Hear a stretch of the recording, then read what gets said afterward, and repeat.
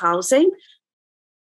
Uh, and um, this is uh, the my my talk will will focus on on a type of uh, housing which is about courtyard housing, with the idea uh, of looking at why uh, this typology, which has existed for more than six thousand years across different geographies, cultures, and times, uh, is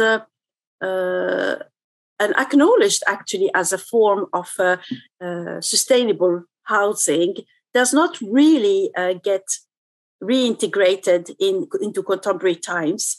And I will use that to trigger a number of questions from the audience uh, to discuss about what can we learn from the history and what is heritage and how then um, this can inform uh, strategies for the future, for a sustainable future.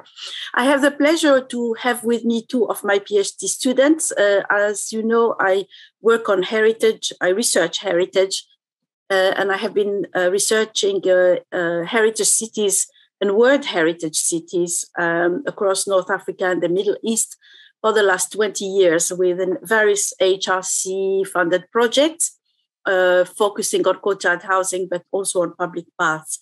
And two of my PhD students are here in the panel. Uh, one is uh, is Bayan El Faouri, and she will be also talking, and um, Abir uh, uh Al Qaad, who is also uh, uh, a new PhD student, both of whom are working on heritage related projects. and I also co lead with Professor Oriel um, Prizeman, the Heritage and Conservation Research Group at the School of Architecture. So I wanted to uh, start by looking at um, courtyard housing. So I have put here uh, a kind of image uh, uh, aerial photos of both the World Heritage Cities. When I say World Heritage Cities, is UNESCO World Heritage Cities. Um, that are of uh, in Morocco, which is Marrakesh and Fez.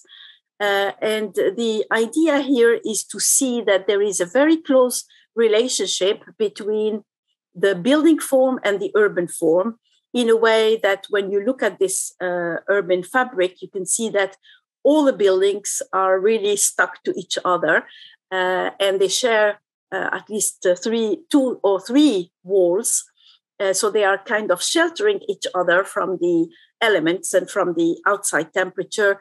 But uh, in doing so, they create a very dense urban fabric that is walkable.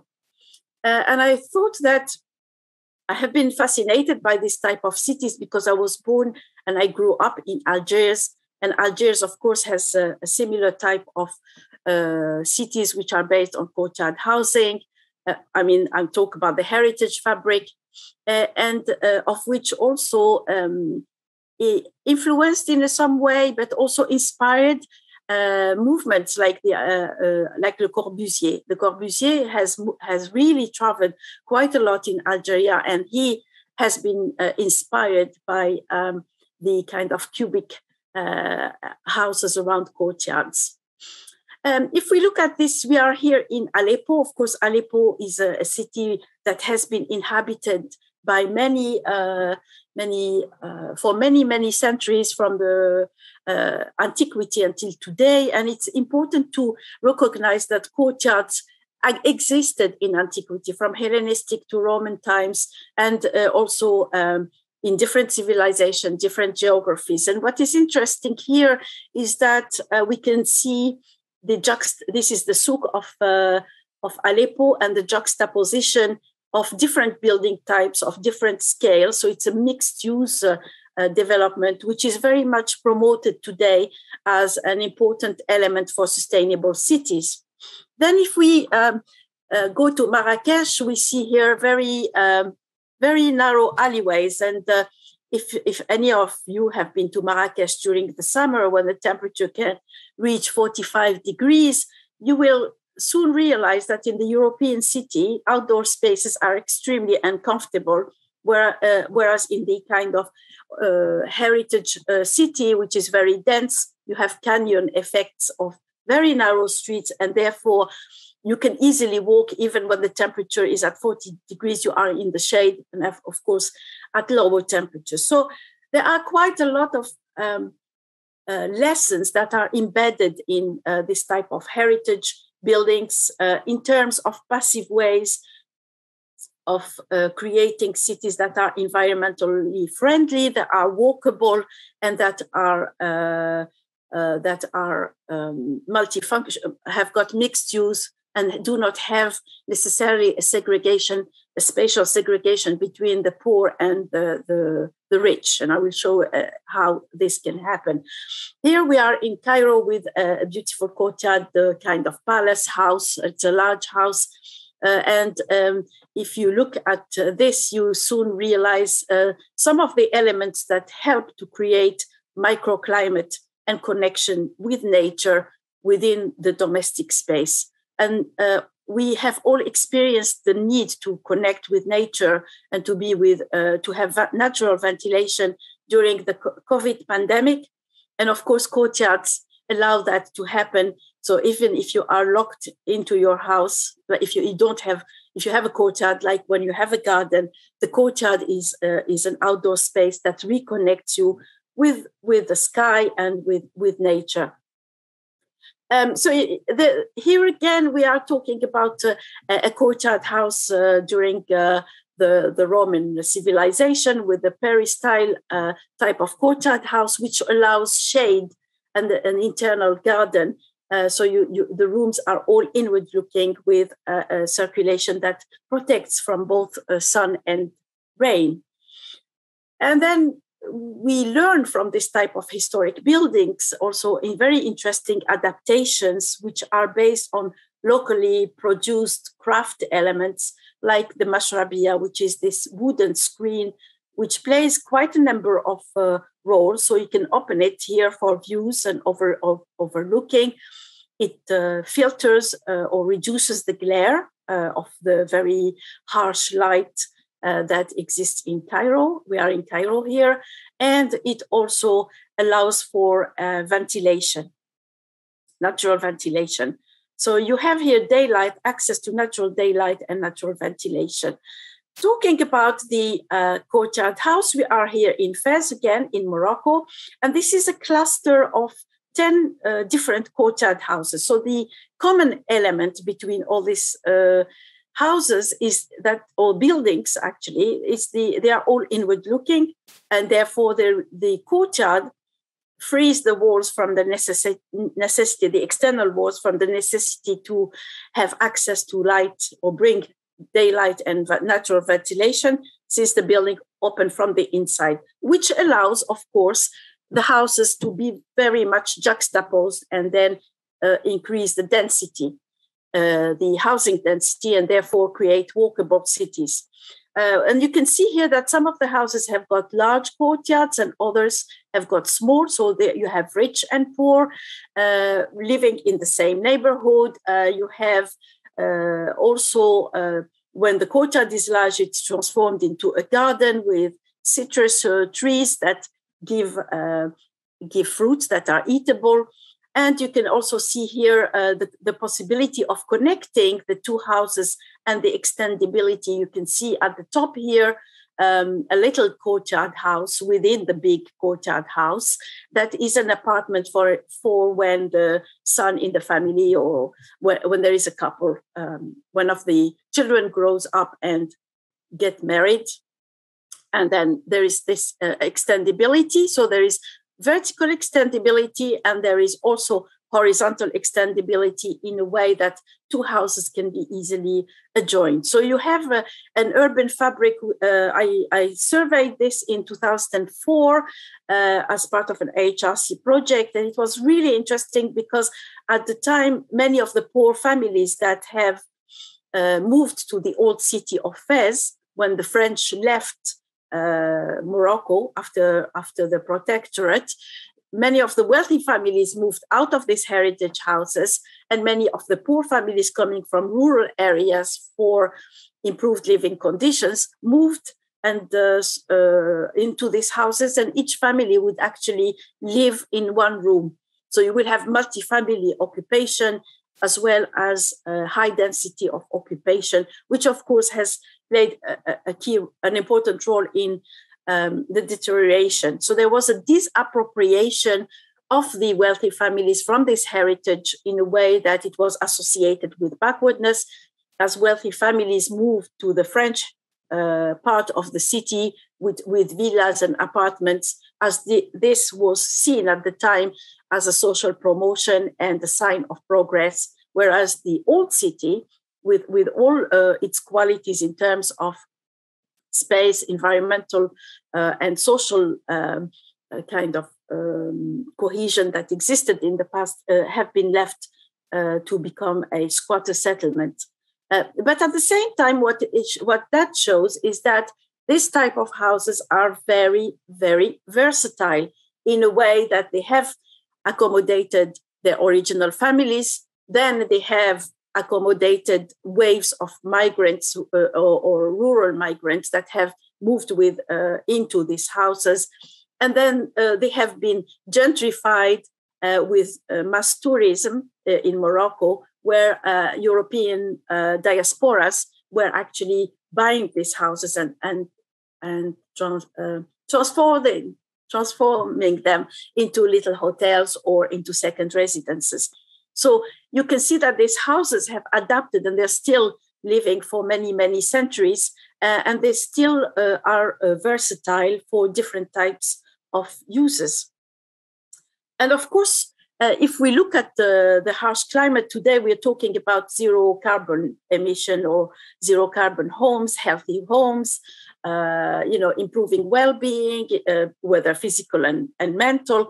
You know, we can see that these houses actually provided uh, uh very interesting passive ways of uh, cooling the spaces. So you have fountains for evaporative cooling, but equally people adapt to the spaces and change their the way they use the spaces because they are moving from one uh, floor to another. So there is uh, seasonal uh, mobility within the house, and the roof is used also at night for in the summer nights for sleeping.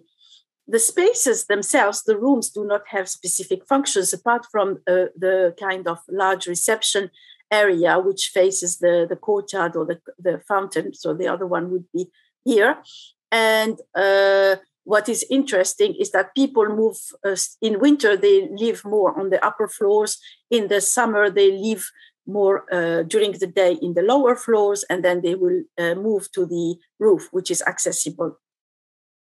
So what is interesting also is that this type of house has been really uh, um, how can i say labeled as claustrophobic in a way that uh, people do not have views out uh, forgetting actually that uh, uh, that the inhabitants have got access to the roof, and from the the roof they have uh, views onto the whole city, particularly when the city is built on a hilly side.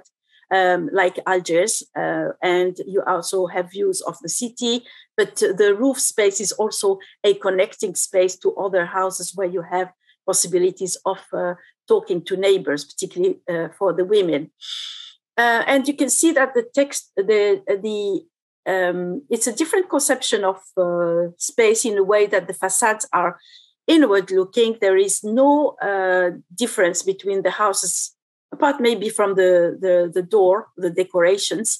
Um, between a rich house and a poor house. It's only when you get into the houses that you actually realize uh, whether it's a large, small house and the level of decoration. So the, the role of courtyards in creating microclimates is very important. At that time, you know, there was no need of uh, air conditioning, so you're not using electricity. Um, you have elimination of glare, maximum shading of the surfaces, and so on. Uh, and, and you have also this kind of link. I have here a picture of uh, uh, we are jumping here to Iran, a picture of uh, wind catchers. So again, those are predecessors of wind, uh, of uh, what do we call it, um, uh, air conditioning unit, uh, where there is a very interesting system of catching the, the cool breezes and bringing them down into the rooms to cool the spaces during the, the hot summer days. Um, and then you have also this uh, beautiful uh, combinations of uh, which help also to create um, permeable uh, facades where views are possible uh, out, but also there is diminution of glare. This can become very easily sitting spaces where um, potteries are filled with water and help to humidify. We are here in Jeddah in Saudi Arabia. And if you know the, uh, the project of Jean Nouvel, the Institute of the Arab World in Paris, uh, he has de- developed a, a, mechan- a, a uh, kind of um, electronic mashrabia where you where the uh, aperture opens the lenses open and close depending uh, electronically depending on the uh, level of uh, daylight outside the, the the materials that I use are all natural so the, the, there is a sense i have interviewed people who live in these houses and they say compared particularly europeans who lived in different types of apartments in Europe, whether they are French or Italians or Spanish or German, and they would say that they they really feel well living in these houses because there has been gentrification. And of course, the, the production is linked to local know how and crafts and local materials that are uh, natural. So, how do we engage then uh, heritage in economic development without endangering its non economic values?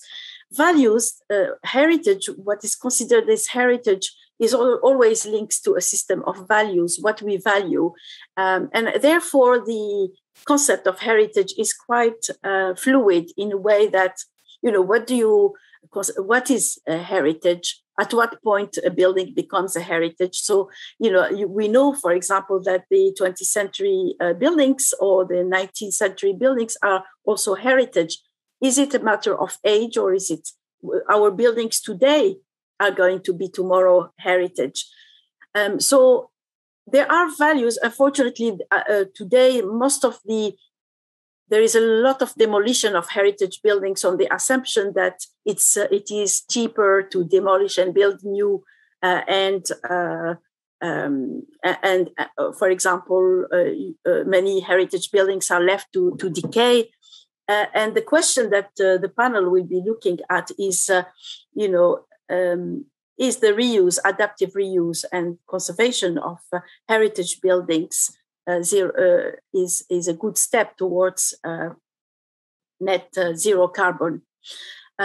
knowing that the build the materials that are, of course, in the buildings have got embedded energy. If you are rebuilding, then you are demolishing, you are creating waste you, you are re- uh, using energy to remove the waste, and then you are importing uh, materials from different locations and so on. So the question here is, you know, why is it that many developers do prefer to demolish and build new, and uh, also uh, to um, neglect buildings?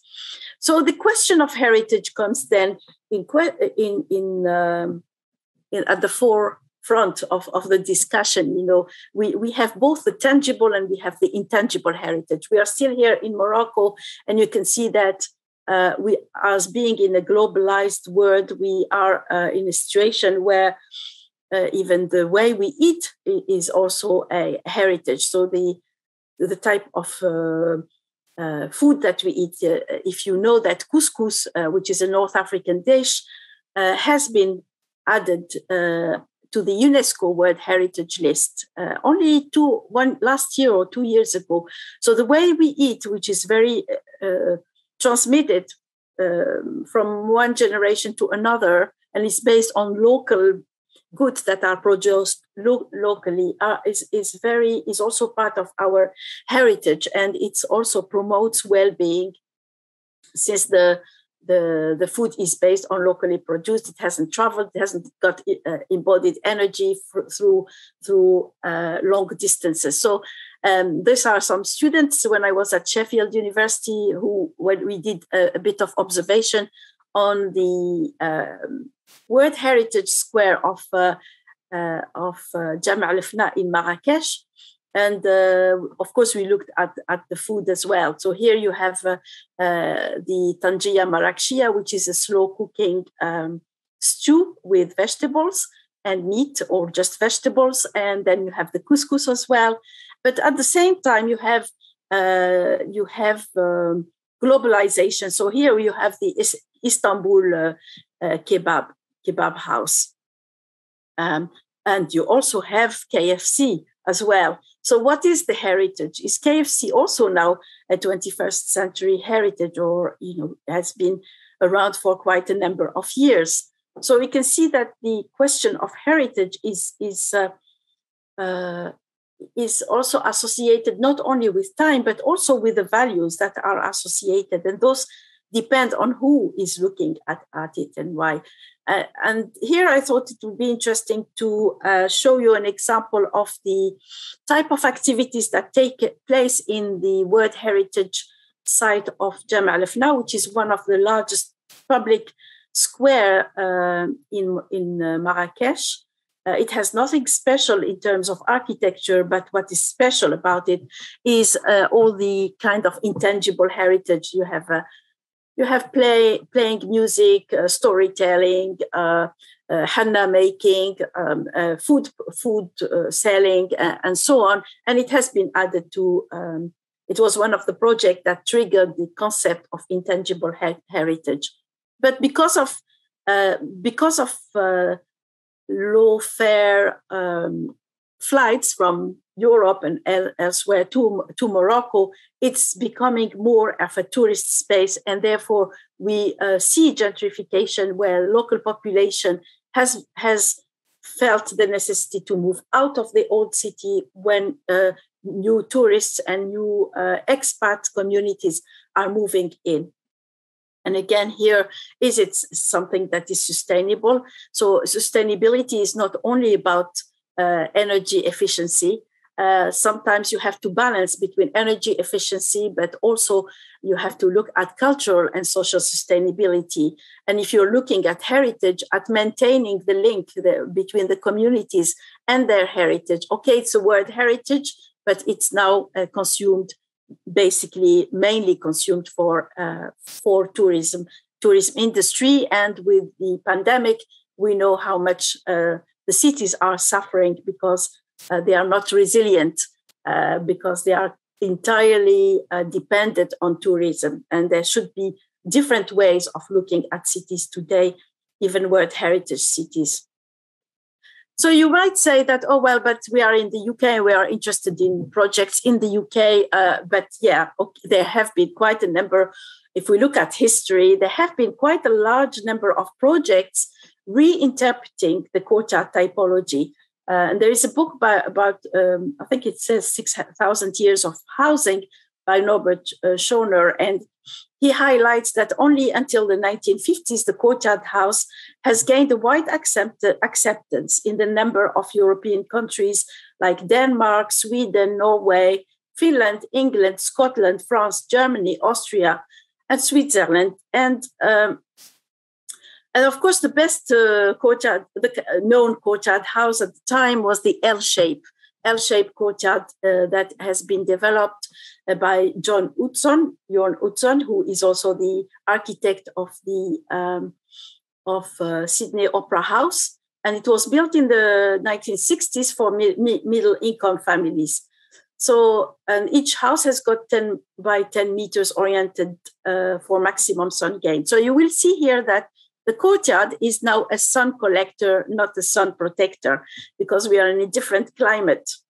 Uh, and so you can have here a view where uh, there are quite a bit of similarities with uh, the uh, very blank uh, walls and, and the, the house being looking looking into its courtyard. And you can see here also the, the same principle that we find in cities, World Heritage cities in North Africa, Middle East, where you have the um, you know the, the, houses around each courtyard, and then you have quite a layering of the spaces from the the, the private to the semi-private to the public space.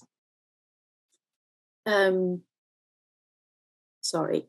and, uh, and, uh, the second project, of course, there are quite a number, and I had the PhD student who actually located all the courtyard housing projects that were done in the 50s, 60s in the UK.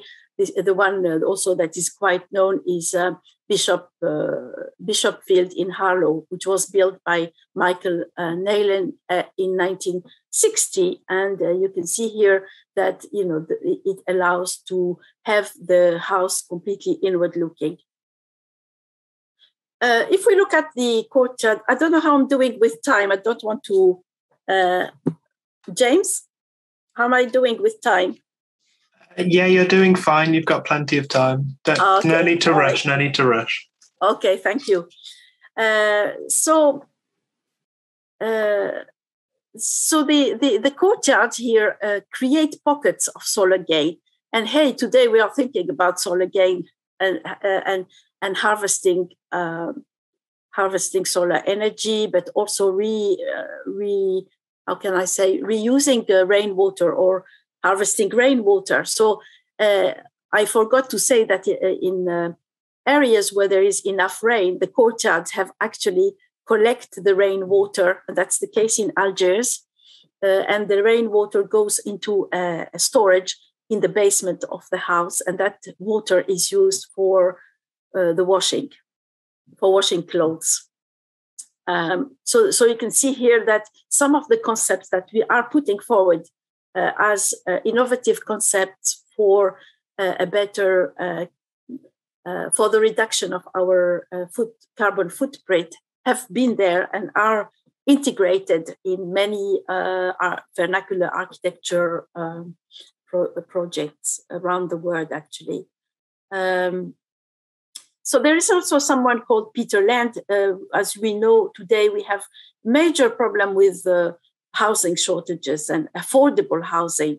Uh, and uh, Peter Land was uh, an architect uh, who has done quite a lot of work for the UN back in the 70s. And he also reinterpreted the courtyard house in the same way as it's a kind of um, when you the terraced house, but with courtyards. So you have very kind of long and narrow um, house form that allows for higher density. And this was created in a project in uh, Peru. In uh, and we know today, you know that many of the terraced houses are are also extended extending with a number of uh, light wells. So you can see that the the courtyard or light wells are, are an important element for allowing low rise, high density uh, developments to be um, integrated in the, in the urban fabric. And someone who also did a lot of research on uh, Leslie, Sir Leslie Martin and Lionel March, uh, and we are talking here back in 60s, 70s, they, they did a lot of work on trying to see how courtyard house housing perform in terms of uh, environmental performance uh, as well as density performance compared to other forms of uh, urban urban uh, housing. And they did quite a number of analyses uh, in order to look at how this uh, courtyard configuration could work compared to maybe some blocks or some up so so they, they, they this is the reference but uh, i remember that they found out that uh, you can actually have the same coverage of the land with courtyard housing up with two floors uh, as you would do with a seven seven floor height buildings so you can imagine that um, allowing direct contact with a uh, instead of being in flats you can be in a, a courtyard house with your own little courtyard uh, and that that will achieve same densities as seven seven floor uh, building blocks. So, are we really reinventing the past? Are we reinventing the wheel?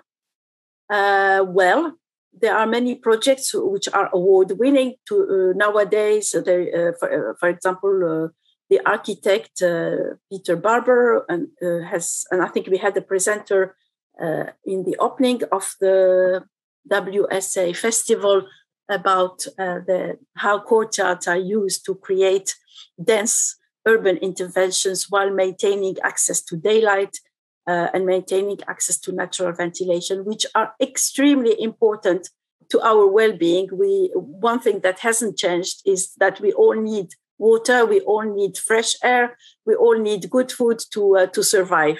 And I think with the um, the pandemic, you know, we, we realize that only too well. Um, so here you you have density, privacy, natural light and ventilation, solar gain, defensible spaces, adaptability, flexibility, energy efficient, efficiency, all of which existed also in the uh, high density uh, vernacular settlements around the world, which are based on courtyard housing. Another uh, project, which is also uh, kind of interesting, is the re- reinterpretation of the of the terraced house, uh, but then creating uh, this kind of layering of uh, spaces between the private domain and the semi-private and the public domain. Uh, and so there you, you, you create a more control uh, and ownership of the, of the communal space, which opens uh, a number of possibilities. Okay, um, where am I now? I think that's it. I have finished. Uh, so I just I have done a lot of work also on public baths, uh, historic baths in uh, Islamic uh, cities in North Africa and the Middle East. I'm currently finishing a project which is funded by the AHRC, which is Art Humanities Research Con- Council, on retrofitting uh, the um, the vernacular public bathhouses in the Medina, the Moroccan uh, historic cities. Um, and this is also a very interesting uh, project in a way that we are uh, re- I have been working for many years. I've been researching the building type for 20 years, but we are trying to uh, first safeguard this building. So the first photo that I showed you right at the beginning, I was mentioning a public bath in Cairo. I was documenting all the uh, public baths that were disappearing very quickly and yet, these building types have got many uh, lessons of sustainability in terms of providing a, a, communal space, which is not a cafe or a restaurant, or but it's about washing. But with washing comes the possibility of sharing resources, which is sharing water uh, and uh, being responsible for using uh, water collectively and using uh, the same kind of central heated water. So instead of the water being heated and distributed to the houses for the district, people would actually walk to the houses, uh, to the to the bath. The changing room is also a very important social space, uh, so people will know each neighbor, uh, their neighbors in the, in the neighborhood, and all the cities have within each neighborhood uh, have got a public bath, whether uh, it's in the in the market area or next to uh, the workshops, or every single cluster of houses to a certain extent has got access to a public house, which is almost like the pub in uh, in British cities, where actually people meet. Of course, men and women separately because uh, of cultural, um, how can I say, cultural norms of of uh, not bathing together. Um, uh, but there is um, th- that institution has survived very much in the North Africa and in Morocco in particular. Uh, and I used to go to the public bath with my grandmother, and I have very fond memories. So a little bit of nostalgia there. but uh, what is interesting is that um, you have uh, hot water, uh, you have a furnace, you have uh, different rooms of different temperatures, uh, and you have very good uh, sweating. So you have uh, elimination of toxins, then you have uh, scrubbing of the skin, so elimination of dead skin, and there is more and more evidence of the health benefits, both physical and mental, for uh, using uh, like what we call today Turkish baths. But in Morocco, uh, of course, Turkish baths, they are not only Turkish baths, they existed before the Ottoman civilization. And which never really reached Morocco. So the Moroccan Turkish bath, uh, the Moroccan baths or public baths are very still the same as the Roman baths. So can you imagine a building type that has still until today continued from the Roman times using underfloor heating system and recycling uh, organic um, organic garbage from the neighborhood. You know, recycling byproducts like the olive pits from the olive presses or the wood shavings from the wood workshops as a fuel in the in the in the furnace. So the furnace is a recycling center for the neighborhood. It, that, that recycling allows to heat the water, which is shared by people who come to uh, as, a, as a social space to, to wash and relax uh, and exchange news and, and also celebrate major events. So the question here is uh, there is much more to sustainability than uh, the uh, the carbon footprint. Uh, and uh, of course, carbon footprint is very important today because of the climate change. We are all experiencing the effects of climate change. But for for the for the for the balance to be established, you have to establish a uh, the intersection between all dimensions of sustainability that is environmental, economic, social, and cultural. Um, and yeah, thank you very much for your uh, attention. And I'm, I'm happy to take any questions. Thank you. Thank you very much, Magda. That was that was really good. Thank you. Thank you. Um, if if I put a message in the chat, but if anybody does have any questions, please just uh, use the Q and A function. Um, we have a question. I don't know if I press answer live, it will. Um, yeah, so the question is um, to do with the first part of your presentation, where you were talking about um, uh, the the courtyard the courtyard mm-hmm. houses, um, and the question is why would uh, why did why did the poor people choose to move into that part of the city uh, as as people left? Mm-hmm. Um, and the, the person who asked um, asked and gave the comparison because where they're from in Syria, those houses are quite expensive, and almost the mm-hmm. opposite happened where the the rich stayed in those houses. If that makes mm-hmm. sense. Mm-hmm. Okay, yeah. Uh, in these houses, they were they were abandoned, or m- most of them have been abandoned because people, as the French left, uh, and that happens in quite a number of countries, not only in Morocco but in Algeria and Tunisia. Of course, Libya was occupied by the Italians, so, but the French uh, occupied um, the Maghreb countries. So, well, Algeria, Tunisia, Morocco. So, when the the, uh, the French protectorate in Morocco was finished, uh, many of the people who were living in the European quarters with big avenues uh, and big apartments and villas left. So they left the spaces, and for for people or Moroccans or wealthy families, for, for them, it was a social promotion to be moving to the more contemporary houses uh, or flats or villas. What happened? Why the uh, the the poor population from rural areas moved into the courtyard houses because they were then uh, rented or they squatted. Uh, it was um, a kind of cheap accommodation. And it happens in many historic centers today, where, and you will see, uh, for example, um, all around the world, that's many of these historic uh, cities, they have migrant population or rural migrants who actually uh, move and uh, uh rent one room to live all together in that room. Uh, and so you, it was the first the um, the affordability of uh, having a, a place to live. And the second, because of the density of the city, the city has got all the markets and has got a number of possibilities for informal employment. So it's also a possibility for informal employment. These people didn't have cars, or so it's also within walking distance to take their kids to schools.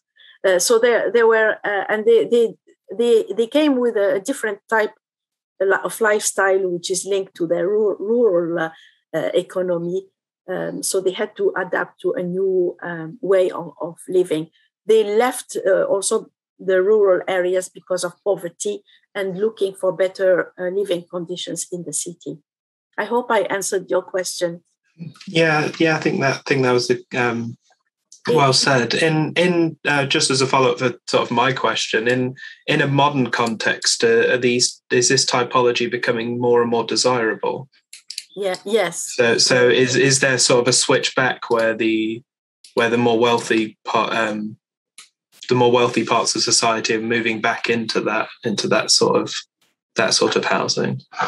Well, in North Africa, it's not the case. It depends on the, the scenarios and on how much tourism is open. For example, Algeria is not really open for tourism, so the houses are really deteriorating. And um, although the, the old city of the Kasbah in Algiers is a World Heritage Site, uh, there has been uh, a lot of deterioration. In uh, Morocco, um, in Morocco, you have a, a, a, phenomenon which started, which is called the Riad phenomena. Anyone has been to Morocco and stayed in a Riad, which is a kind of courtyard house that has been transformed into a bed and breakfast.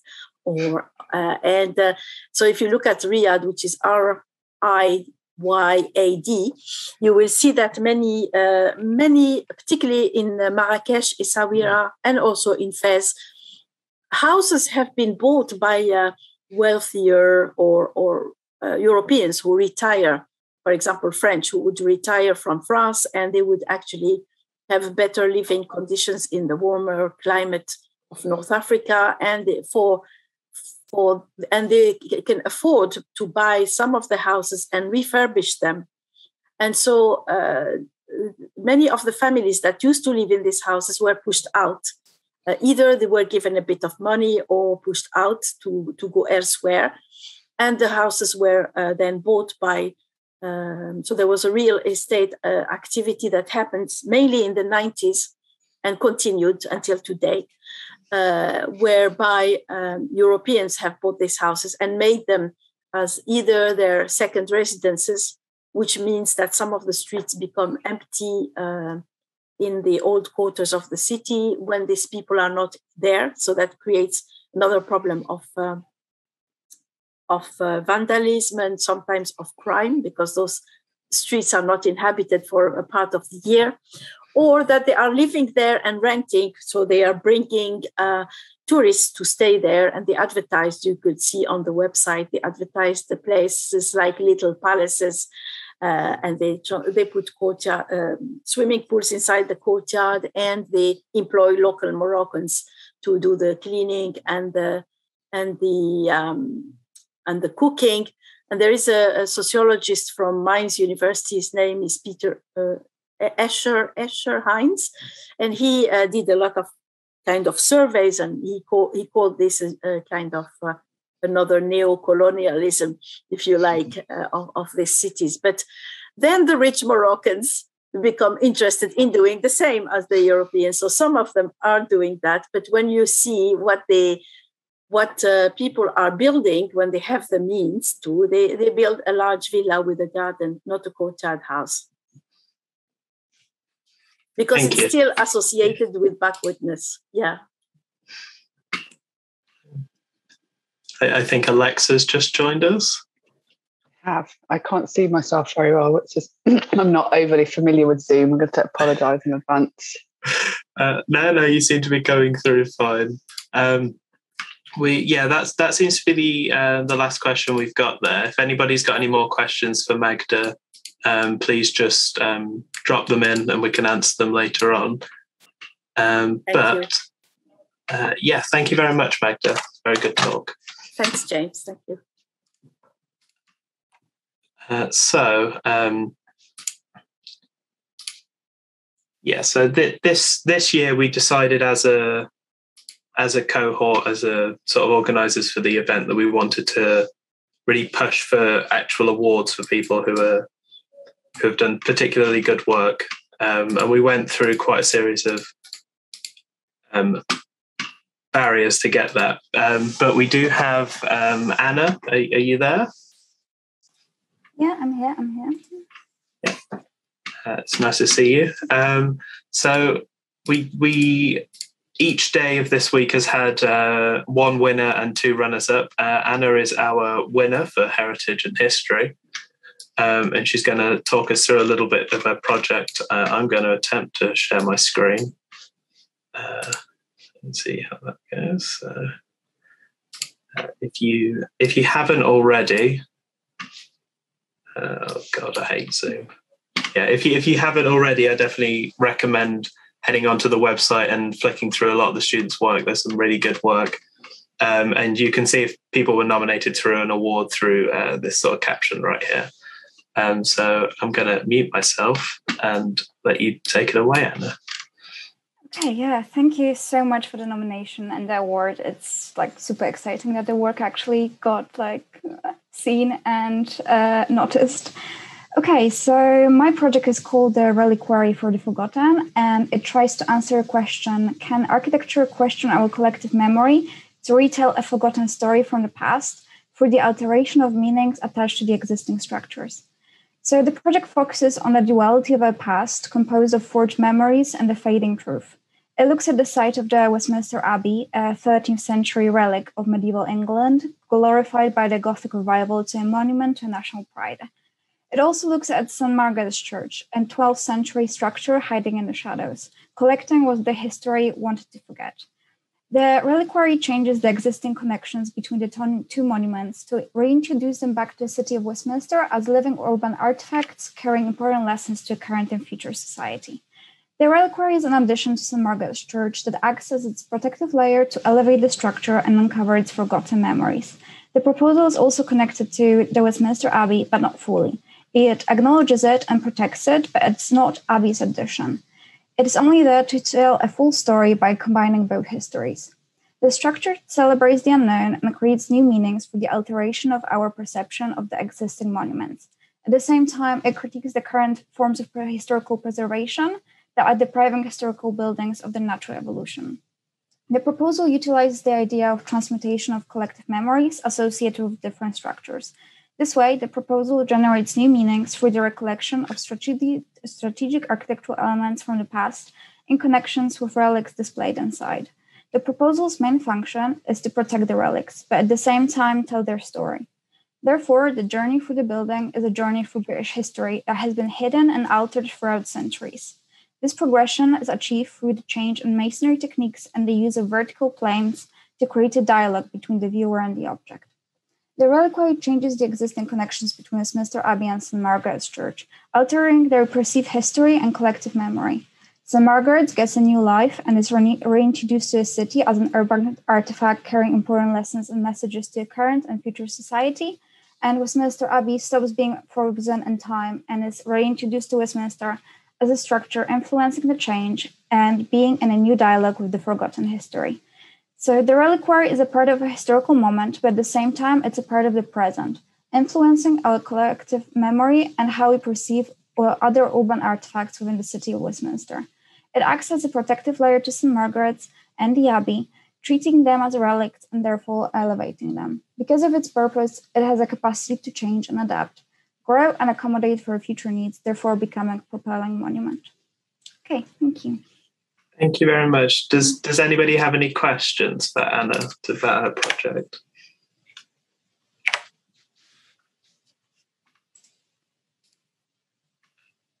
Yeah, questions are already always a tricky one in webinars. um, thank you so much for coming in. I know it was short notice. Um, no problem, no problem. Thank you once again. um, so, um, unfortunately, um, unfortunately, the runners-up for today's prizes couldn't couldn't make it to the seminar. So I'm going to post uh, Anna's and our runners-up, um, Claudia and Paulina, who are going who couldn't make it today. Um, but their projects will be able to be viewed. I'll send you direct links because I know the website sometimes can be difficult to find very specific pieces of work. Um, but thank you so much for coming on and sharing your work. Um, and yes, and again, sorry for the short notice, but congratulations. Yeah, thank you once um, again. No problem. Yeah, that's fine. The the awards this year uh, for this for this day were sponsored by Kate Darby Architects, um, and you'll receive a trophy, I believe, and uh, and a copy of the yearbook, so you'll be able to see your work printed as well. Yeah, oh, that's amazing. Yeah. Mm. Thank you very much. Thank you.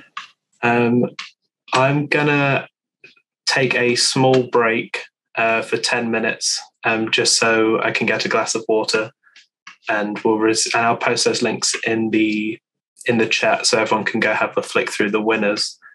Um, and I'll I'll be back in at five past seven, and we've got a talk from Alexa Woodward, who's going to talk about um, BIM within conservation. Hi, welcome back, everyone. Um, thank you for allowing me to get that drink. Um, is Alexa there? I ask her to unmute, maybe.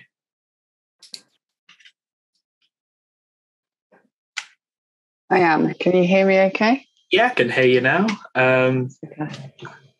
With some weird stuff. Uh, but yes, uh, thank you everyone for hanging on over the break. Um, I can see we didn't lose anyone, which is which is pretty impressive. Um, Alexa is an architect at uh, Glancy Nicholls, uh, based in Birmingham in England. Um, and you're going to do a talk on BIM in heritage, am I correct? You are. Excellent. Um, well, you should be able to share your screen, so uh, we can we can hop right in, save people listening to me. okay, that's fine. We'll see how this goes. Can you see my screen? Okay. Uh, we can see your emails at the moment. There you go. No, sorry. Just, uh, just going to close that.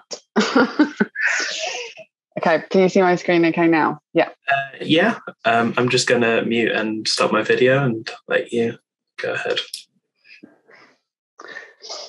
Okie dokie. Um, uh, thank you for listening to me talk. Hopefully, um, I'm not going to bore you too much, um, and I try and keep it interesting. Um, for those, well, most of you don't know me. I think it's probably only Macaulay. Um, I'm an associate director at Glancy Nicholls Architects, and um, I'm a specialist in um, the historic environment. So um, I've worked with listed buildings for um, almost 20 years now, um, and BIM and heritage, for want of a better word, is called it HBIM, has been something that I've become really interested in in the last three or four years. Um, and I, uh, in 2019, also wrote a heritage BIM um, research paper with the University of Wolverhampton. Um, so hopefully, I'm going to give you a bit of a background in terms of um, I don't know how much some of you may or may not know um, in terms of how we work on listed buildings and the value that BIM can bring. Um, so typically, when um, we are asked to work on a listed building, we often um, start with the listing that's held by Historic England. Um, and this is one um, that was done for Garth House, which is part of the University of Birmingham. And typically, the, the listings, the majority of them were done in around the 80s when there was a bit of a drive. some have been updated since then. but this listing theoretically outlines why a building is of heritage significance, but they can range um, from two lines to three or four pages, depending on how detailed um, the assessor was when they visited it. But this is always our first port of call, which in theory is telling us um, w- why the building is listed um, to a point. Um, one of the other areas that we tend to look at is um, the map cartography. So we will start to go through the historical maps and look how the building has, has evolved um, and progressed through time to give us a little bit of an understanding about how the uses have changed, how ownership might have changed, um, outbuildings, annexes, and we use things like tithe maps and things like that. Um, if we're really lucky, we might be able to find some existing drawings um, but that does depend um, on the age of the building um, and how good people were at record keeping. Um, and it's not always great. Sometimes you get next to nothing, and other times you might get a treasure trove. It really does depend, and you, you don't really know what you're going to get. Um, so, uh, Garth House is an example. The plan that I gave here was from um, a book called Das English House, um, which we managed to find a plan from. Um, you don't get a key with it, you just get a little bit of a layout and some historical photos. Um, and then we typically, um, these are examples of some sections that the client had in their possession. Um, but there were sections that were done for proposed work. So you've kind of got to start to try and interpret what may have been done and how much of it was was implemented. Um, quite often, um, they're not always in the best condition. Um, and we have to take the listing as well and go around the building and have a bit of a look as to what kind of key features, senses of craftsmanship, functionality in the layout that we think may be important um, as part of that building. And we will look at things like the timber paneling, um, even kind of the ironmongery um, and the emblems and symbolism in in in the ironmongery or any of the glasswork and things like that, and why they're significant. Um, now, um, when we look at conservation projects, um, every decision that we make um, is based around um, a, a, skeletal ethic and philosophy, um, which is born out of three main documents, which is the Athens Charter, the Burra Charter, um, and the English Heritage Conservation Principles. And the very definition of conservation, which I always put up there, I really like it, it's one of my favourite, is it's the process of ma- managing change to a significant place, but one that will sustain its heritage values while actually reinforcing or revealing those values for future generations. Now, we assess um, significance by looking at those heritage values, which are evidential value, which is the potential of a place to, to yield evidence about past human activity, historical value, which is the way in which people and events or aspects of life are connected through a place, um, aesthetic value, which is how we draw sensory and intellectual stimulation from it. And that could be kind of anything from how a detail is executed from a craftsmanship point of view through to how it makes people feel. Um, and then also communal value so what meaning that place holds for people and how they relate to it um, and how it might be related to, to certain um, points in their memory or, or specific events um, and what we do is we go through all the historical information and we make an assessment based on those four values as to what the heritage value is that sits within those four categories. Um, and then from that, we attribute, I, I guess, a, a, level of significance from those heritage values. So generally, we say it's high, high, medium, low, and then we try and transpose that onto the features um, and the key aspects of the fabric. So we start to gain an understanding of which bits of the building are, have a higher significance than others, and as a display of those heritage values, and that very much informs our decisions as to how we alter or how we repair or how we refurbish those buildings. But it fundamentally um, forms the backbone of, of all our decisions. In addition to that, we obviously do a condition survey. Um, and as I alluded to earlier, they're not always in the best condition. Um, and if it's gone through um, multiple um, changes and modifications, or not always what you see um, is exactly as it is, and they have a tendency to hide a multitude of sins. So, from that, we'll do our own levels of recording and investigations. Um, a, a, couple of images that I've got there to kind of show you, um, and that would range um, from micro drilling and using an aboroscope to to get into voids, to doing ultrasound and moisture surveys, um, and also thermographic surveys to understand where we may or may not be losing heat.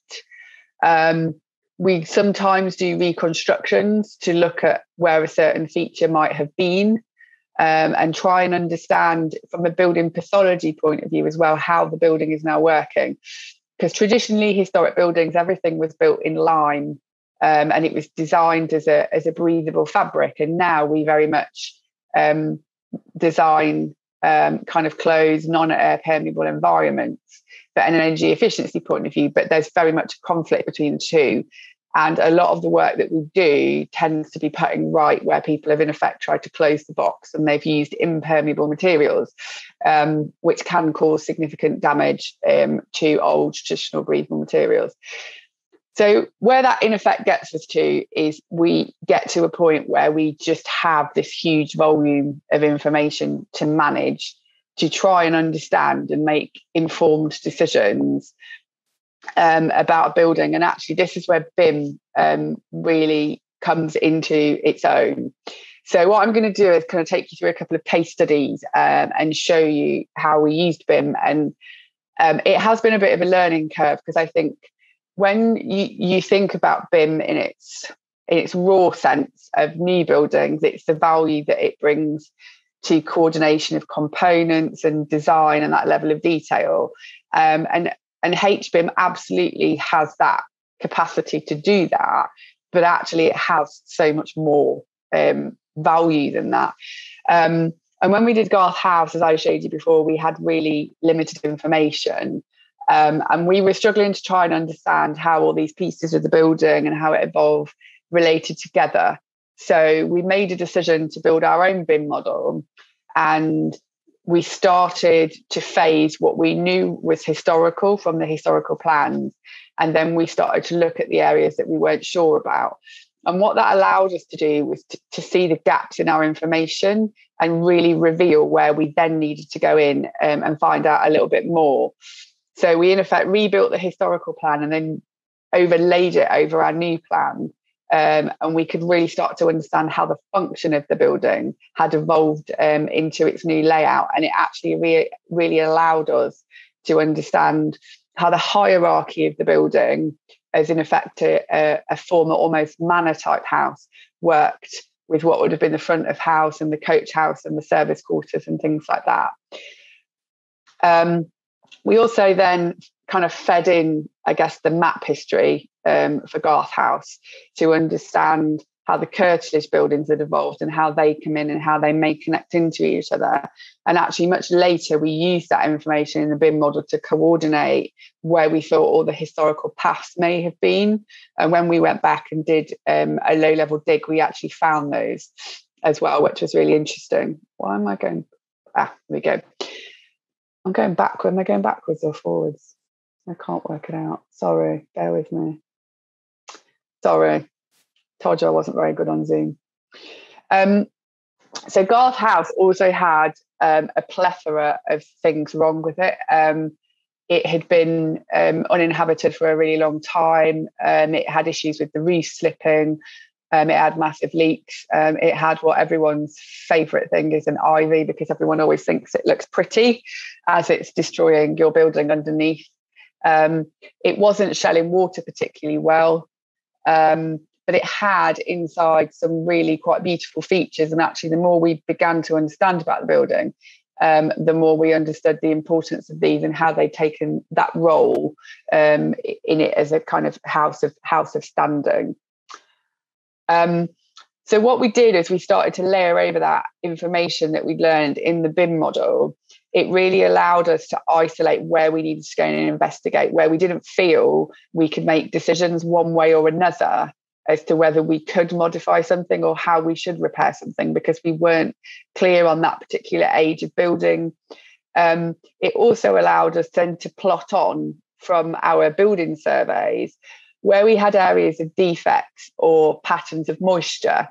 We were able to plot that into the model and actually, what that allowed us to visually see is to see what the common factors were to give us a really good idea as to where we needed to go in and open up and learn more about the building. So we were very much using it from a informative point of view to understand the history of the building, to inform our decisions on how we may make the modifications, but also to allow us to understand how the structure was functioning in, in a slightly different way and actually it was really interesting because what we found out is actually we had a, a, horrible issue with damp and rainwater but it actually wasn't coming from where we thought it was. And actually just simply plotting um, the patination of damp actually allowed us to isolate it a, hell of a lot quicker and, and actually stopped further damage to the building. And actually by isolating and highlighting the areas of structural cracking we were able to open up in a really good area. And actually, what that allowed us to see was in the 60s, they'd inserted a steel um, into a concealed cavity um, that wasn't protected. and it was corroding and that was pushing the whole top of the building out. But, but had we not plotted that patination, we wouldn't have known exactly where to look. We would have had to kind of just roll with it um, and see what happened. So it really kind of gave us value from that point of view. Um, so we use that information to kind of plot onto our drawings and tender drawings. Um, this is um, just some images of the building as we were in construction, um, just to give you an idea, a guess, of the complexities that we were dealing with um, and the condition of the building. Um, and this image that you see in the bottom right hand corner here is the steel that was corroding that we that we opened up because um, they always look worse before they get better. And actually, also in understanding more about the building and the roles of each of the individual spaces, we were able to understand which were the areas of higher significance. And we were able to have that air of caution. And it gave us that time to go in and investigate. And we found some really good finds in there as well. So we found an original safe um, and some original parquet floor that was beyond its life, but we retained in situ. Um, and we also uncovered an original horse trough sink that wasn't visible um, in the coach house as well, um, which was really nice. Um, and anyone that kind of knows anything about listed buildings is we're always really careful um, what we do to them and the amount of drawings and level of detail um, that we have to do for them is is huge and is a significant amount and it really has that capacity in it to give you that efficiency and drawn information as well for things like ream elevations and it really allows you to see the impact of what you're doing in a 3d form that is much easier to understand um, so I just always put some photos of the finished building, which hopefully you think looks infinitely better than the first. Um, and this was a arts and crafts building, grade two star um, by architect William Bidlake, who was typically an ecclesiastical architect. Um, and he only actually designed five houses, of which Garth House was one, and there was only two in Birmingham, and the other one got arson attacked. Um, so a really significant building, and actually that consideration and time and that value that BIM gave us really enabled us to make the right decisions. And um, there's re- there is just it just helped the process so significantly. I can't explain that. So these are the interiors which are reinstated. Um, however there's a little bit more value in the BIM than that as we got into it so typically when we hand back um, a listed building we are never ever in a position because of what they are to have done everything that you ever want to do to it. And they often come with what we would say managed defects. So there are, it's just part and parcel of the age of building and type of construction that they are handed back with significant maintenance requirements. So we we ordinarily structure um, what's called a conservation management plan or maintenance plan um, that's operated on a traffic light type system. Um, and that would go back and highlight what maintenance needed doing um, within set periods. So anything with a red traffic light is one one year, amber is two to four, and then green is kind of within the next five years. So you ordinarily try and obviously hand them back without anything that one's doing immediately. And we started to see the value that might be in utilizing the BIM model um, for managing that data. Because quite often when we hand buildings back, the handover information goes into someone's bottom drawer, and then no one ever sees it again until something goes wrong.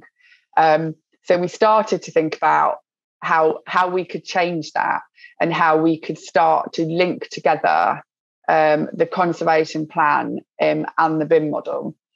So then that brings me on to my second case study, um, which has recently been completed. And I did toy with the idea of um, showing you some completion photos, but um, I, I, thought I'd better not just in case I get in trouble um, from the client. So um, I will send some round um, when I'm told I can release them just to give you a bit of an idea.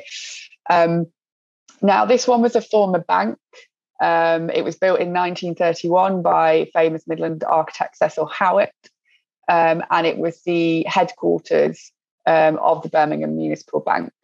Um, and we were commissioned by the University of Birmingham to turn it into, in effect, a learning conferencing hub. Um, and despite its age and really extended period of dereliction, which is kind of pushing 14 years, had some really beautiful features in it. Um, it still had a bank vault, complete with loads of vault boxes, which you can see in the top right. Um, the top left is the main banking hall. Um, and uh, a beautiful committee room that was timber panelled and um, a lot of really beautiful neoclassical features, which were really linked into its significance because when the bank was built, it was all about giving that sense of security um, to make people want to invest their money in the bank, which was originally built to, to fund um, the war effort. Anyone that's seen Line of Duty um, will recognise two of the pictures on the left because that's where the station was um, in Series 1, if anyone recognises it.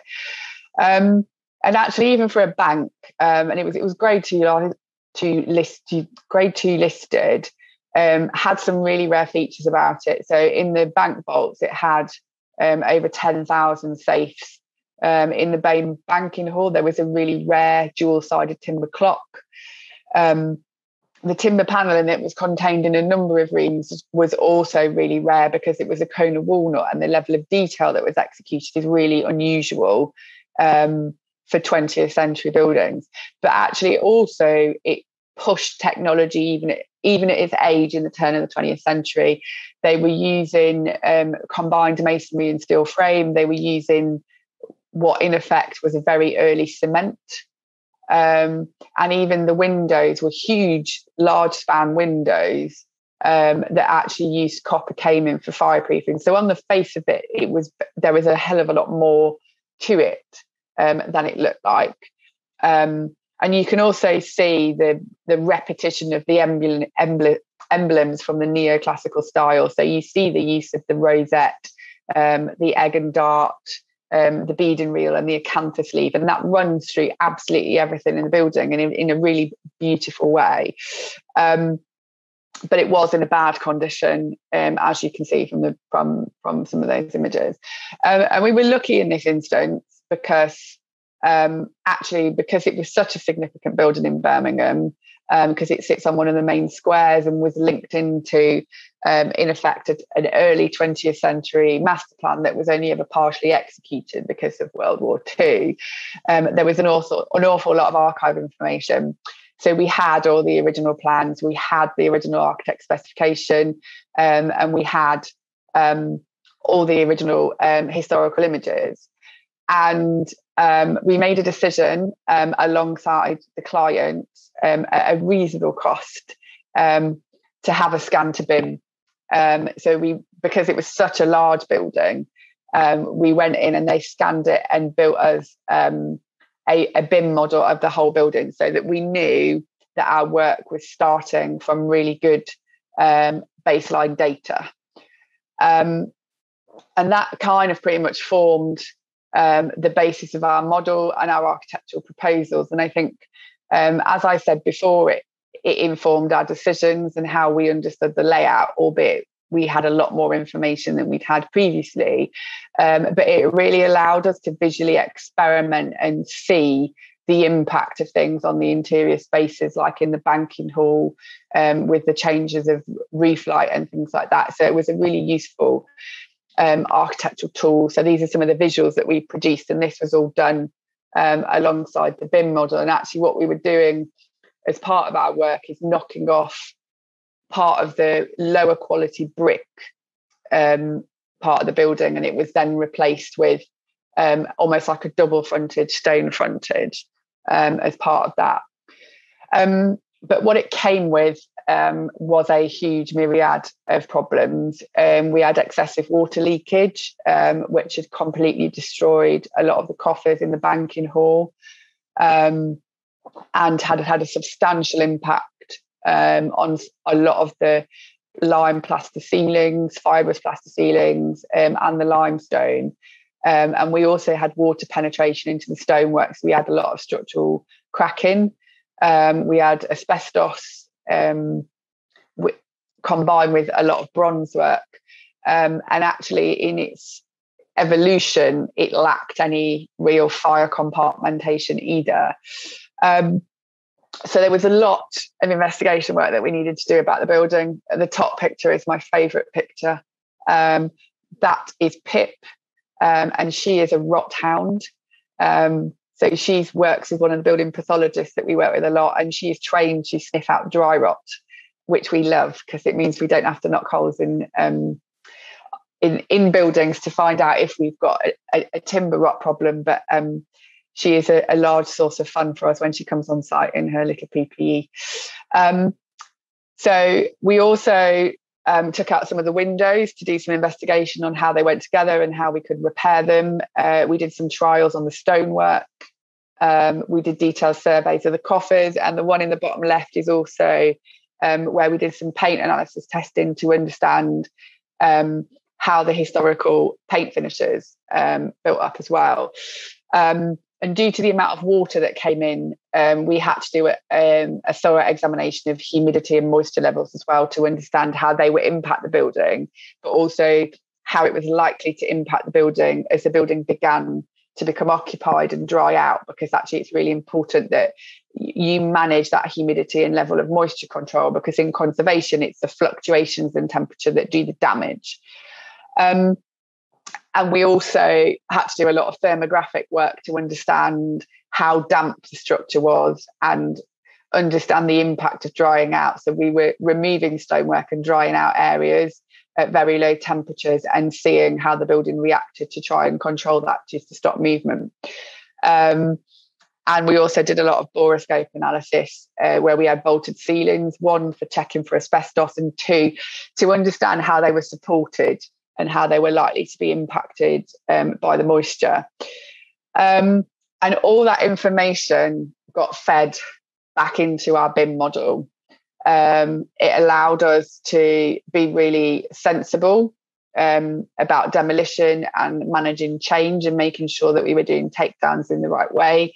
It allowed us to to go in and be sensitive in that exploration um, and really make informed decisions and actually feeding that directly into a 3D environment enabled us to see patterns in support and structures um, and, and really gave us a, a, a much better insight um, into how that construction worked. Um, and also, we don't often, when we do things like paint analysis and things like that, we're not easily able um, to always see the patterns in how different areas have been built up and changed. So again, feeding that in um, made a really big difference.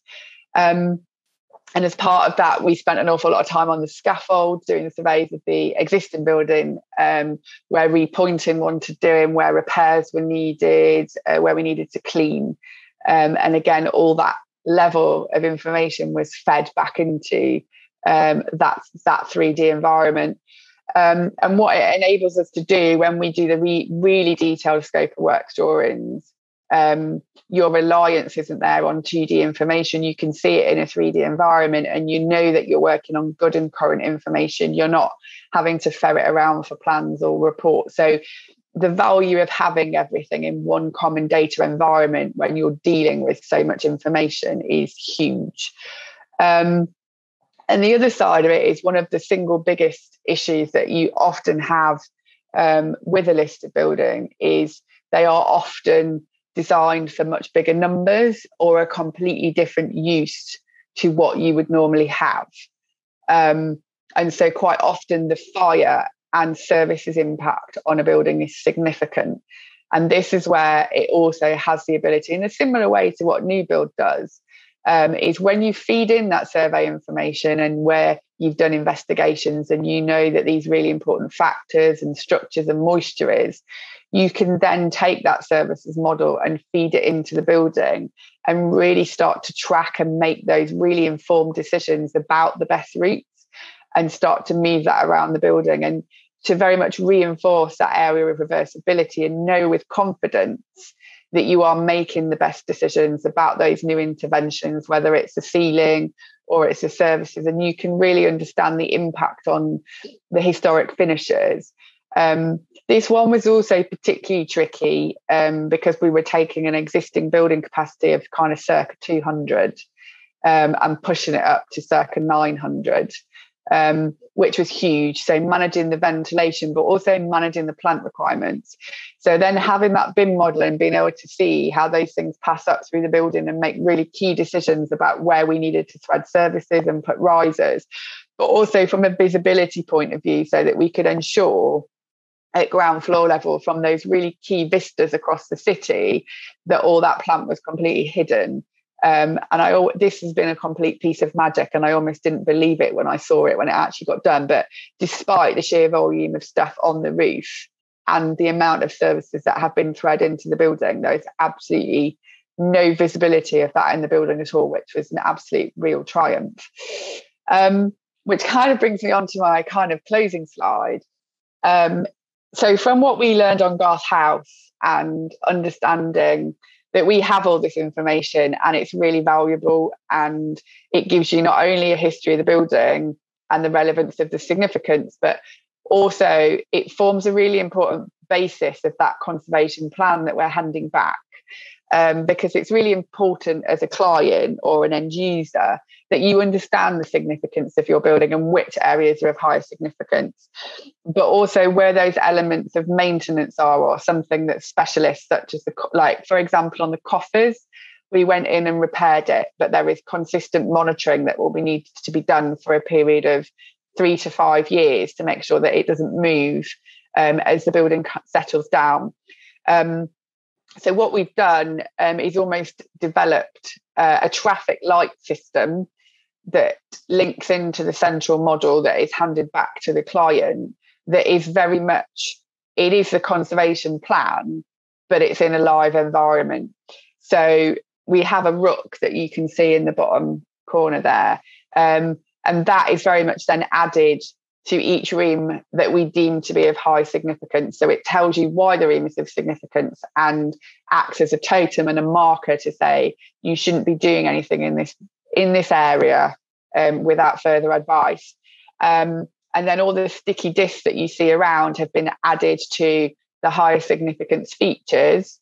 Um, and they move on a time period based on when maintenance needs doing and highlight what maintenance needs doing, but also list the conservators that have been or would ideally be involved um, in the kind of continuous repair of that.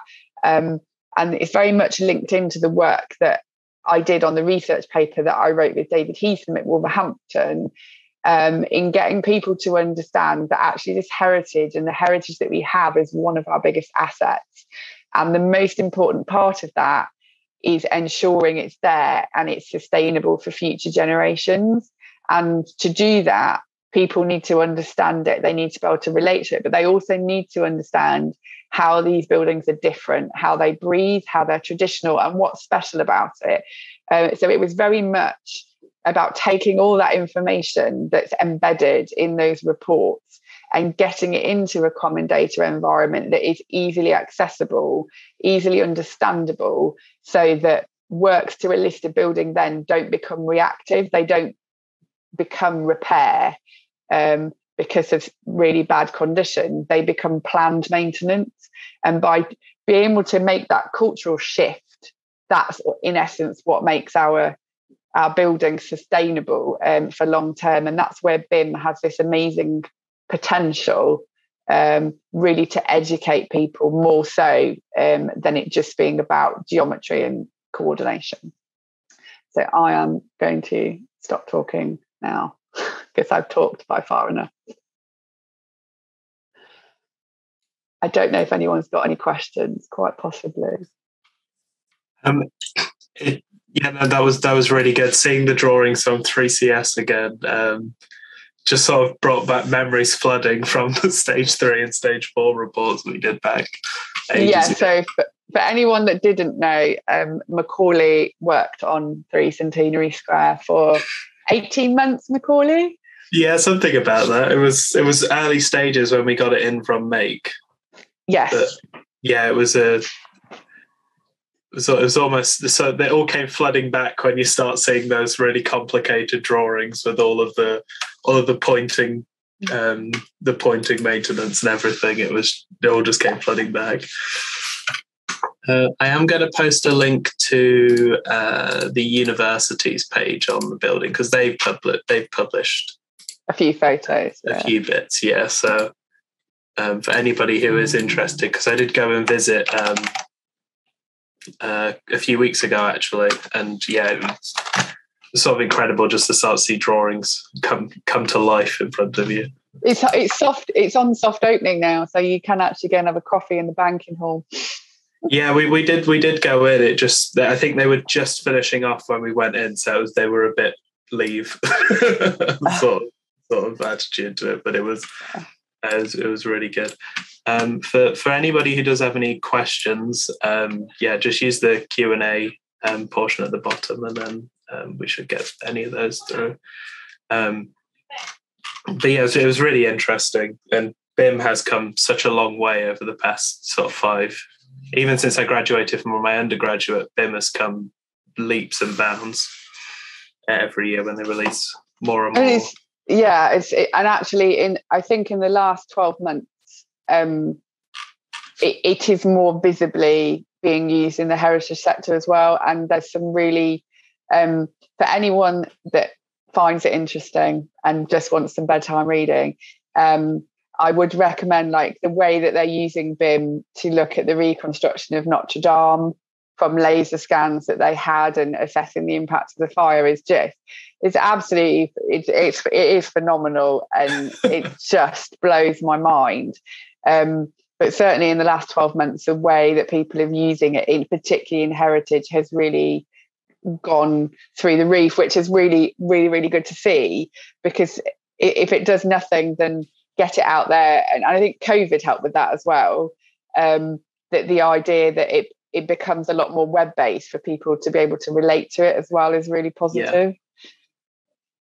And and it and it's such a it's such a good tool in in sort of stamping that point in history for the building as sort of giving records to future generations for for when it is a when it is a it becomes an even more historic building when the next generation of people need to refurbish or rework its use. Yeah, you, you've got that in, in, incredibly detailed history, which is going to be so useful for the people in 100, 200 years. yeah, they won't have to go through the same pain that we went through. Yeah. have it there. they'll, they'll do presentations just saying, yeah, we don't have to do this anymore. yeah, we know, we know what it's all about.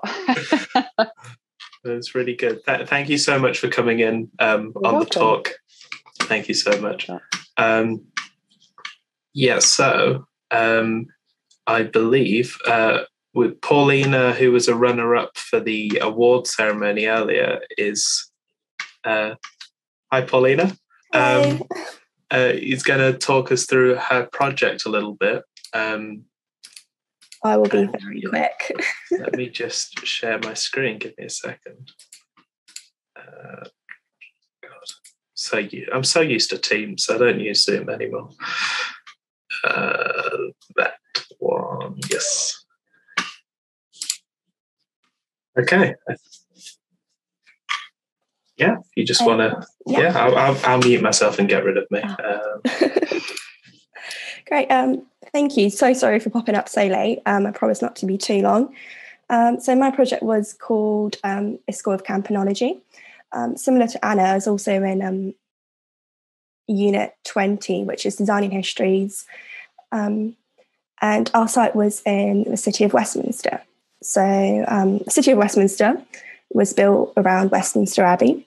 So, first came the Abbey, then the Palace of Westminster, as Edward the Confessor decided to move all the wealth and the power away from the city of London.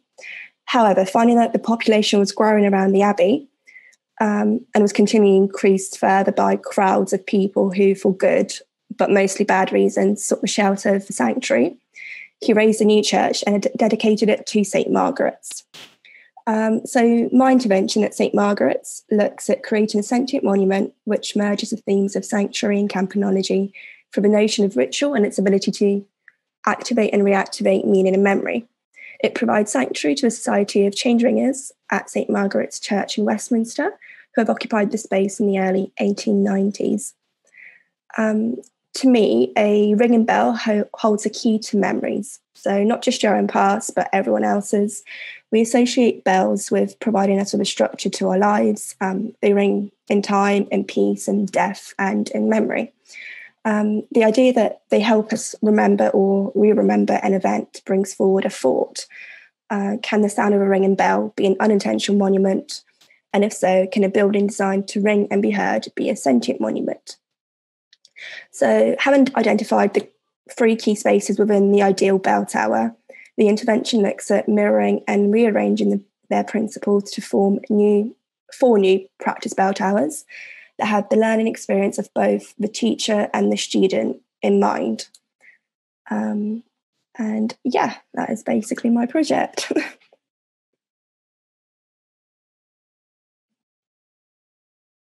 we go. Thank you. Thank you so much for coming on. Uh, I do apologise. I uh, I must have not sent the link properly, which is why oh, you no, had issues joining. But thank you very much. Uh, I'll stop sharing that.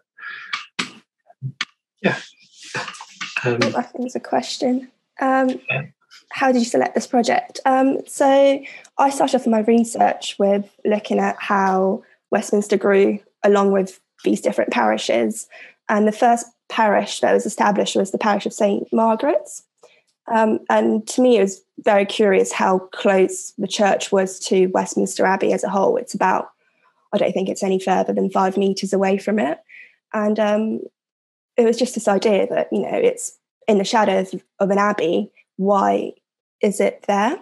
Um, so I started um, researching more into the sanctuary laws and what happened. And basically, um, the monks that occupied um, Westminster Abbey didn't like the fact that quite a few felons and well poorer people um, were entering the abbey because it was meant to be for both them and obviously the king um, for um, special events and occasions.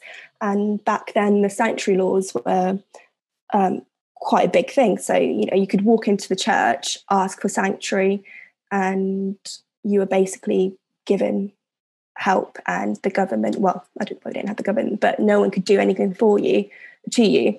Um, so this is why st margaret's was built was it was for the poorer people um, for people that you know needed the sanctuary or needed the extra help. And um, it was this idea to me that you know there's a massive amazing abbey right next door but people actually use St. Margaret's more because it was more, it was a church for the people rather than mo- the monarchy. So that stood out to me the most. Um, and yeah. Thank you.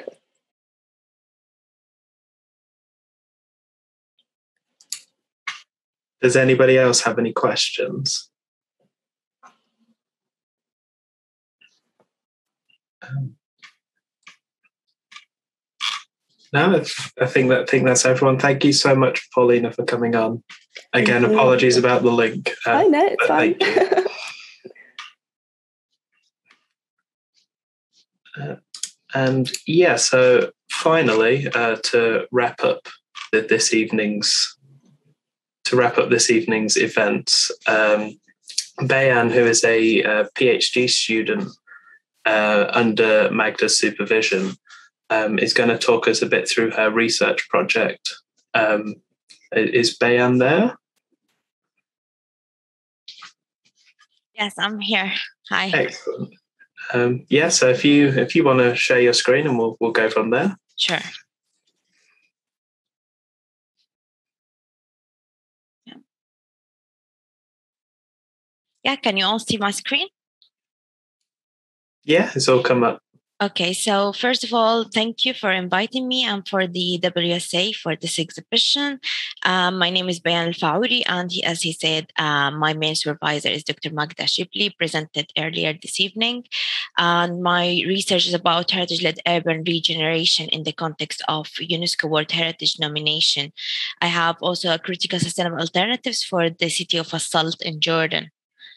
So basically, my uh, my research has uh, three main aspects. Uh, first, there's the uh, World Heritage listing and the urban regeneration schemes within the MENA region specifically, and then there's the corpus of the UN initiatives for sustainable development, and we have also the timely case study of As-Salt, um, the recently inscribed the city of Asalt in uh, July 2021. So uh, I will start by looking at the uh, the UNESCO World Heritage uh, map uh, for you know, for inscribed properties, and by highlighting the MENA region in red, uh, we notice that uh, it housed 132 World Heritage sites among 1,121, and it's looking at the size of the MENA region and how the the distribution of World Heritage sites along. We ask ourselves like um, uh, what is a World Heritage Site, what's the outstanding universal value, who and how it's evaluated. We have to know that once a city is on the World Heritage List, it expects benefits uh, such as uh, financial and uh, technical um, uh, help, and there's a lot of um, pride and logistic uh, issues with that. But we also have, uh, in the same time, some people might find it problematic, such as um, giving out power for others to be other stakeholders to be involved in the decision making process. Um, but mainly, my main issue that I'm tackling in this research is dramatically increase in the number of tourists in a World Heritage site being UNESCO World Heritage listing as a catalyst for uh, urban regeneration projects and um, um, by that, I'm, I'm, looking at a couple of uh, World Heritage sites around the MENA region and looking and tracing how uh, this uh, heritage-led urban regeneration pattern um, and how there's uh, been uh, some neglection of the connection between tangible and intangible issues.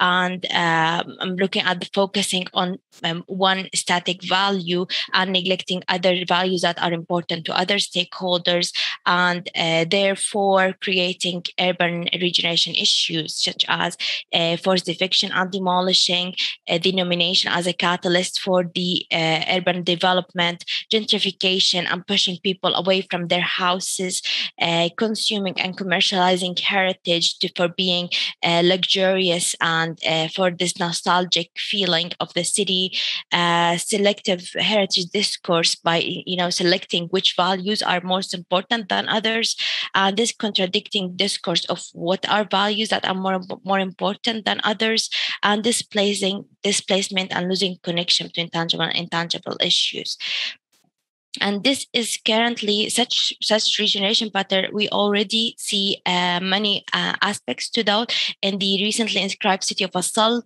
Uh, I've been tracing the city several um, by its uh, more than one one trial of nominating the city on the World Heritage List, and with each trial, the same pattern of regeneration keeps coming, and uh, with many urban development um, projects that are tourism led, that are um, that are luxurious led uh, to make the city more presentable, make the city more uh, beautiful uh, in, in, in a sense. And um, all the all the buildings that do not fit in that category are demolished, and people are moving out of these buildings and mostly outside of the city boundary. These buildings are um, among institutional buildings, schools, and uh, mixed use buildings that are are um, not related to the golden era of the city, while it the the in, um, um, the one that is associated with the outstanding universal value. So, uh, because of that, I looked at the corpus of the UN initiatives for sustainable development, and mainly the uh, the most recent ones. Those are the uh, historical urban landscape and the uh, 2030, the timely 2030 agenda for sustainable development, and the new urban uh, agenda. And um, but um, one of the most important ones, and the one that is the umbrella of all others, the, the one that is timely uh, in this time is the uh, change our world, the 2030 Agenda for Sustainable Development. And uh, one of the main targets of that is 11.4, the protect our uh, the world's cultural and natural heritage.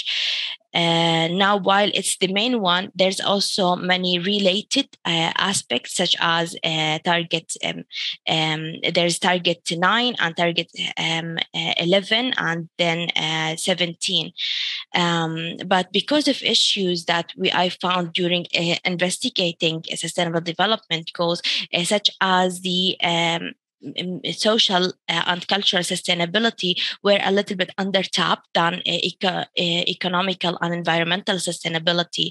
And this is visible by looking at the targets and the indicators of the targets. Like, for example, 11.4, protect our world cultural heritage, is measured by the uh, amount of expenditure that is spent on the World Heritage City, on, on, um, on, on our heritage, tangible and intangible heritage, and not the level of awareness or nor nor the uh, community engagement, nor um, how are we are we spending this money. So um, because of that i've decided to incorporate uh, aspects from other un initiatives such as the historical urban landscape approach and then the new urban agenda to complement areas in the target uh, um, in uh, goal 8 11 and 17 and the specifics target to that to um, probably get an integrated approach to uh, uh, to create a set of uh, recommendations uh, a set of what if scenarios uh, for a sustainable alternatives that can be um, that can be incorporated for any city that is on the World Heritage List or in or pursuing that inscription. And for my methodology, the case of As-Salt is the timely case study that I'm going to do two rounds of field work. One is already done before the inscription uh, on the World Heritage List, and one after the inscription. And with comparing different stakeholders' opinions, but also same stakeholders, but within different times, uh, we'll get an understanding of how ne- these values are negotiated. And then with the sustainable development goals and the other UN initiatives, we can um, we can create some syntheses and uh, the, and these recommendations uh, that might help in any city that's going through the inscription process. So that's it. I've decided to make a very uh, short presentation. I'll be happy to answer any questions.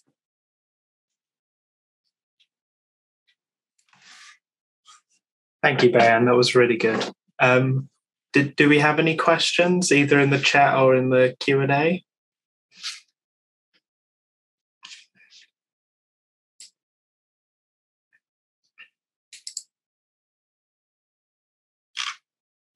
yeah, like I said earlier, questions are a, a tricky thing in webinars. you really have to poke them out of your audience. Um, that's going to wrap up today's event. Uh, we did have other things planned, but um, we we had a few um, we had a few dropouts due to unforeseen circumstances. So um, we we did have a panel planned, but um, it, it, it's it's difficult without those people. So I do apologise for that. Um, but I think I think we've we've had a lot of talks, had a lot of people on. I think it's it's been a good evening. Um, uh, I'd like to thank yeah all all of my all of my co-hosts and panel members for coming on, especially with some talks being very last minute. Um, but yeah, thank you, thank you everyone for coming on, um, and hopefully we get to do this again at some point. I know the the school are eager to do more events like this one, and I think it'll be good to good to have people on again. So yeah, thank you very much. Uh, thank you. Thank you, thank you James. Thank you very much, James. Uh, it's been great to be part of this event. Uh, thank you so much for organizing it. And, and thank you to all the speakers. It's been amazing. Excellent. Yeah, um, we're gonna we'll, we'll post links to everybody's socials and all the students' work who have participated today, all the winners of the awards. Uh, I think I've already posted them, but yeah, keep an eye out for our socials. And yeah, thank you everyone for coming. Um, I'll, I'll see you later. Bye. See you. Bye bye. Take you. care. Bye bye.